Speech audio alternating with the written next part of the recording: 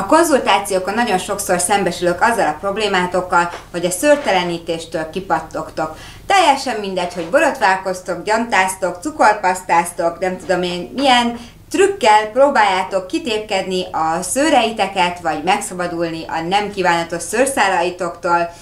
Egyszerűen mindig rossz a vége. Na most ebben a videóban nektek szeretnék segíteni.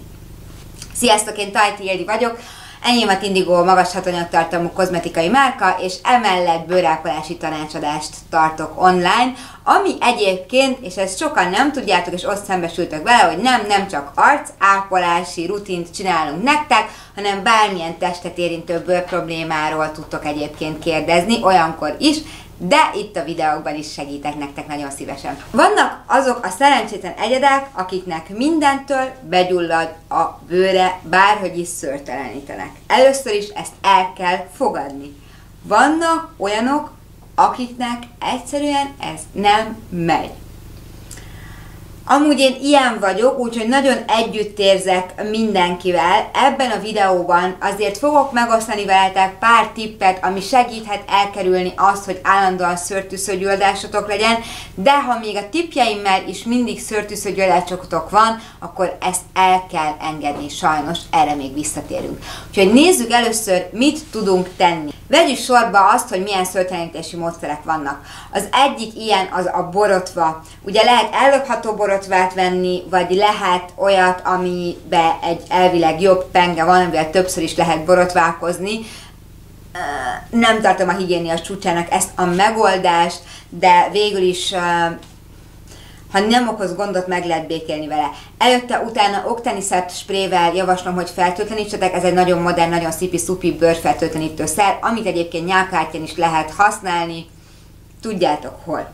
Mivel a borotva az lehúzza az elhalt hámsejteket a bőrről, ezért van egy peeling effektje is mellékhatásként.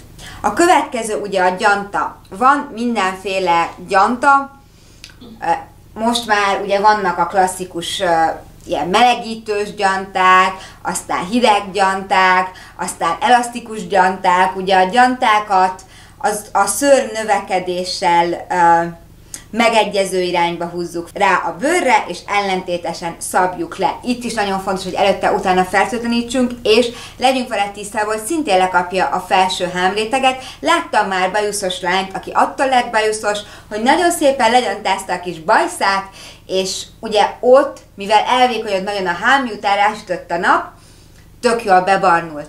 Szóval ezzel csak óvatosan, szintén szemöldöknél én nyáron nem javaslom, hogy bármit is gyantázatok emiatt az arcotokon, ha csak nem vagytok ilyen hardcore fényvédő fanatikusok, titkon remélem, hogy azért akad köztetek.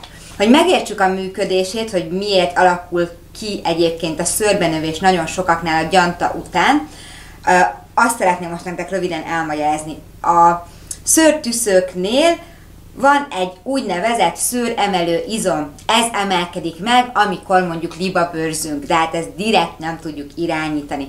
Na most ennek van egy iránya, ez határozza meg, hogy milyen irányba van a szőr, ezt tök jól lehet látni, mondjuk a szemöldökünkön, vagy a kezünkön is ugye így, így ebbe az irányba szokott nőni a szőr de hát, hogy megvan, hogy hol milyen irányba szokott nőni a szőr. Például a szemöldökömön itt van egy rész, ami az Isten is akar abba az irányba nőni, mint kéne. Na most, amikor ugye gyantázunk, akkor szőr növekedésével megegyező irányba tesszük föl, mondjuk így, és az ellentétesen tépjük le. Na most, amikor visszafele megtépjük, akkor a szőremelő izmokat is egy picit így átcsapjuk a másik irányba, és ezért utána gyakoribb, hogy nem talál ki a lukon, mondjuk így nagyon-nagyon egyszerűen.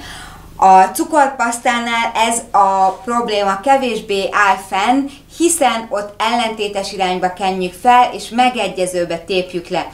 Ettől függetlenül a cukorpaszta sem való mindenkinek, amikor a kozmetikus iskolába jártam, volt egy nap, amikor cukorpasztával tanultunk, behívtak egy nagyon drága cukorpaszta márkának az állítólag legjobb képviselőjét, egy idősebb egyébként nagyon kedves hölgyet, és én nem is gondolom, hogy az ő hibája lett volna, de nekem úgy begyulladt a kezem, aminről lekapta ő a szőrt, hogy kortikoszteroidos krém lett a vége. Amit tudok tenni a realitások talán, egyébként nem mondom, hogy tökéletes megoldás, de legalább próbáljátok ki.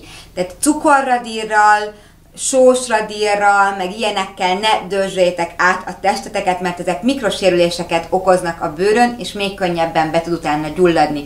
Törölközővel esetleg át lehet dörgölni, de még jobb, hogyha használtok például egy hámlasztót, mondjuk a Great and Powerful kémiai hámlasztónkat nyugodtan ki tudjátok próbálni testre is, 100 is a kiszerelése, úgyhogy nem fog pikpak elfogyni, de ugye ez fényérzékenységet okoz. A Titan Timeless 1%-os retinolonkat is lehet akár használni ugyanezen célból, hogy ne legyen ott az elhalt hámsejt, és ez is szépen elő tudja készíteni a bőrt, de ugye ezek fényérzékenységet okoznak. Ha nyáron szeretnétek használni, akkor inkább a piacon egyedülálló Soft ki enzimes peelingünket ajánlom nektek, mert ez csak tényleg a bőrnek a legfelszínén hat, és ezért nem okoz olyan komoly fényérzékenységet, mint egy kémiai hámlasztó vagy egy retinol. A borotválkozást megelőző napon, vagy gyantázást megelőző napon érdemes csinálni, de most ha két nap előtte volt sem baj, de szerintem ugyanazon a napon inkább ne tegyétek meg, mert ugye maga a a borotválás és maga a gyanta is a bőr felső hámrétegét lekapja, a cukorpaszta amúgy elvileg kevésbé. Ha epilátorral tépkeditek ki a szőrötöket, akkor ugye az a bőr legfelső részét nem fogja lekapni, de azelőtt is érdemes használni mondjuk egy enzimes peelinget, és akkor ugye, ha vékonyabb a bőr, nincs rajta egy nagy, vastag, elhalt hámsejtekből álló törmelék réteg, ezt egy kicsit eltulasztom nyilván, de akkor könnyebben kitalál majd a lukon a szőr. Nagyon-nagyon egyszerűen és szemléletesen mondtam nektek most mindent. Kozmetikusoknak biztos egy másfajta videót csinálnék, bár ők meg ezt egyébként is azért szokták tudni. A szőrtelenítő krémekről nem beszéltem még, ez kémiai módon oldja az elhars szőrszálakat, van is egy jó durva szaga. Um, okozhat irritációt, allergiát ez is, de nem mindenkinél okoz, egyszer meg lehet egyébként ezt is próbálni. Mm, lehetőleg ne rögtön az egész testeteken, hanem próbáljátok ki egy kisebb részen, ha nincs probléma, szuper, ha van probléma, akár később, mikor nő vissza a szőrötök, akkor meg megint ez neccesebb. Ugye fertőtlenítésre kevésbé kell figyelni, hiszen nem fog vérezni, mint egy gyantánál, nem érintkezik egy fizikai dolog, mint mondjuk a borotva. Úgyhogy azért itt sem árt feltétlenül, ha, ha esetleg fertőtlenítetek is titeket megnyugtat, lehet, de ugye ennyiből ez más. Ezek azok, amiket tudunk tenni. Mi van akkor, ha mi, bármit csináltok, és ezt mindent kipróbáljátok, használtak előtte egy jó kis enzimes peelinget, aztán utána okteniszep előtte, utána mit tudtok még ezen kívül tenni? Borotválkozás után nagyon-nagyon jó visszajelzéseink vannak a Coleman Kecsi permetről, hogy szépen leviszi a gyulladást. A Barbie mindenféle szörtelenítés után a zöld Fresh and Fun permetünkre esküszik, de egyébként a, így az összetevők alapján a Gracious and Glamorous is jó lehet, de hát ha van otthon valamelyik Tindigo permetetek, az bátran próbáljátok meg borotválkozás után, mert ezek nem csak arcosító permetek, hanem tényleg szérumok.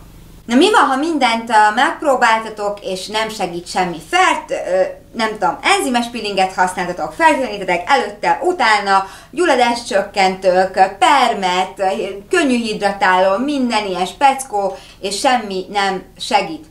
Amivel nagyon sokat tudtok rontani a helyzeten, az az, hogy rákentek mindenféle illatos, alkoholos cuccot, ami tök jó irritációt okoz, az amúgy is a szörtényítéstől megviselt bőrötökön, szóval no alkohol, no illat, szóval semmi ilyen izét ne kenjetek már magatokra, mert uh, tényleg sokkal többet tudtok ártani magatoknak, mint használtok. Szóval nincsen semmi jó cuccotok otthon, akkor vegyetek egy Tindigo permetet, de inkább ne tegyetek rá semmit. Octanicept az ilyen otthon tényleg, szerintem az egy must have, hogyha borotválkoztok, az legyen, előtte utána feltlenítsetek, de a semmi is jobb, mint hogyha valami irritáló összetevőkben gazdag cuccot rákentek.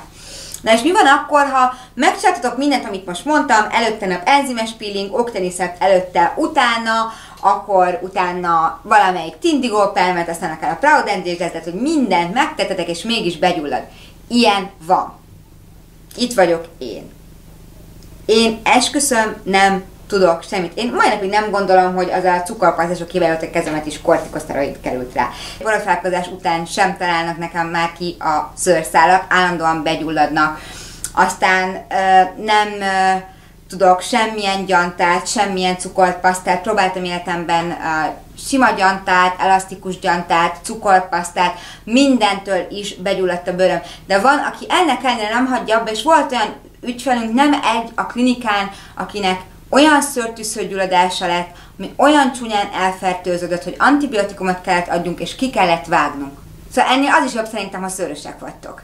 De nem azt mondom, hogy ezzel feltétlenül meg kell békélni. Az egyik ilyen opció az az IPL. Nekem is van egyébként egy otthoni IPL-em, nem szeretném mondani a márka ö, nevét, úgyhogy ezt ne kérdezzétek, mert már volt ebből problémám, de lényeg az, hogy ö, fehér bőrön, sötét szőrön egészen jól működik. Nekem, ha most már mindenki tudja, csak az intim részem van ilyen, úgyhogy ha ott lődöztem vele magamat, egész jól kihullott tőle a szőröm, viszont a kezemen, ahol ilyen világos barna a szőr, a lábamon is világos barna a szőr, semmit, de semmit nem csinált egyáltalán. Úgyhogy én azt mondanám nektek, hogy ha világos a bőrötök és sötét a szőrötök, akkor megéri beruházni egy otthoni készülékre, és akkor azzal lövöldöztök, nincs szörtűszőgyulladás, kiesik szépen, nagyon kellemes, viszont akkor um, nem biztos, hogy jó ötlet a hámlasztókat használni. Illetve én nem vagyok elektrokozmetikában járt a szakember, de beszéltem egyel emiatt a videó miatt, és ő azt javasolta, hogy inkább semmilyen hámlasztót ne használjunk, hogyha azon a területen, amin IPA-t használunk. Mi van, ha annyira szerencsétlenek vagytok, hogy világos a bőrötök és világos a szőrötök, mint nekem, de azért annyira nem világos életen ne látszódjon, az IPL nem viszi el, és semmit nem bírtok. Ilyenkor jön, ezt viszont kimondom, mert itt nem fog senki megkövezni. Nekem van egy szuper borotvám, én vettem a saját pénzemből, a Philips Body Groomer, ez egy férfi borotva, 10 forint körül van azt hiszem, és én ezzel szoktam lenyírni a szőrömet. Ez körülbelül úgy nyír, mint egy hajnyíró, de bőr fölött egyből bök, mint olyan, mint egy-két napos borostám lenne rögtön. Cserébe, mivel a bőr fölött vág, nincsen szőrtűsző gyulladásom, úgyhogy én ezt javasolnám annak, akinek semmi, de semmi nem válik be, illetve én voltam Alexandrit lézeren is végleges szörtelenítésen, azt is csak az intimemen tudtuk egyébként megcsinálni, pont azért, mert mindenhol máshol olyan világos volt a szőröm, hogy meg sem mozdult, amikor meglőttük próbaként. Na, ezek az opciók vannak, egyébként ez jó, mert elmentek egy pár szütőre, nem kell ezzel foglalkozni, míg, míg ha az otthoni IPL-t, azt minimum havonta lövöldözgetni kell, hogy ne nőjön vissza. Ezek az opciók vannak, ne várjátok meg, míg olyan súlyos lesz, hogy antibiotikum ki kell várni. Ha nagyon begyulladna egy gyantázás után, akkor én javaslom, hogy gyorsan fussatok el bőrgyógyászhoz, fel fog nektek írni olyat, amitől gyorsan lemegy, ne várjátok meg, hogy az elfertőződjön, hogy nem tudom, egy tájog vagy bármi egyéb legyen belőle, és a végén ki kelljen vágni. Annak a hege is ott marad, szóval észtel a szörtelenítéssel, és egyébként még annyit mondanék el, hogy ez nem ilyen izé, hogy akkor mindenki legyen szörtelen, szerintem mindenki csinálja úgy, ahogy akarja, aki szőrösen érzi magát, szerintem azt is el lehet fogadni, aki meg uh, csupaszan érzi magát, az is jó. Na, ennyi lett volna már ez a videó, nagyon szép uh, nyarat kívánok nektek, szőrösen, vagy éppen szörtelenül, ahogy jól érzitek magatokat, és kövessetek be a Tindigo Instámon, a Facebookon a Tindigo szépségreceptek VIP csoportban, iratkozzatok fel a csatornámra, nyomjátok meg a csengőgombot, és akkor nem maradtok le a jövő heti videómról. Találkozzunk egy hét múlva ugyanitt, sziasztok!